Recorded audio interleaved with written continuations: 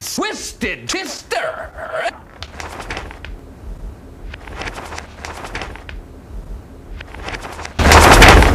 What is that? What the fuck is that?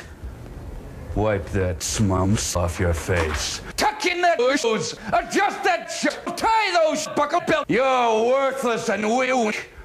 You do nothing. You are nothing. You sit in here all day and play with your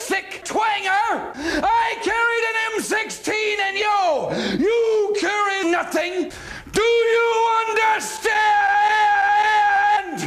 What do you want to do with your life?